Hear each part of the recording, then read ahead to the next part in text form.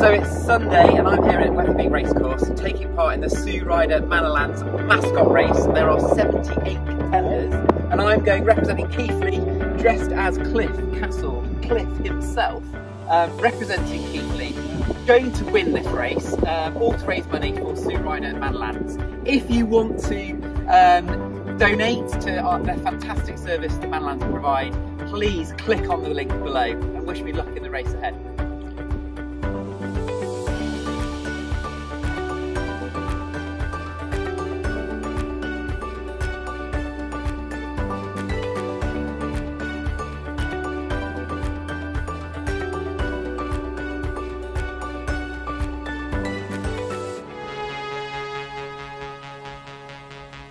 We've got number two, Pound Hound, representing uh, Poundland. We've got two Pound Hound, number 74. I'm also told there is a Conservative MP in the field. He's not part of the cabinet, though. He's uh, number 25, Cliff the Castle from Keighley.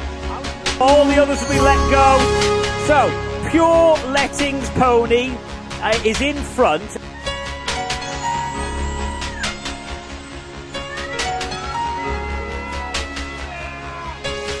Is Frankie Firedog coming to the double. Cliff, oh, also making ground is the Conservative MP, Cliff the Castle from Keighley. Oh, he's down! Oh, he's down!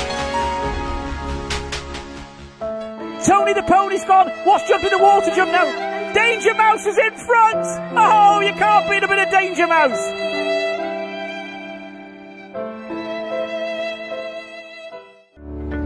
So we finished. Cliff and I had a fall at the second second jump, but um, really good to get involved. Well done to all who got involved in the race today. And if you do fancy giving some money to Sue Ryder Manor don't forget to click on the link below.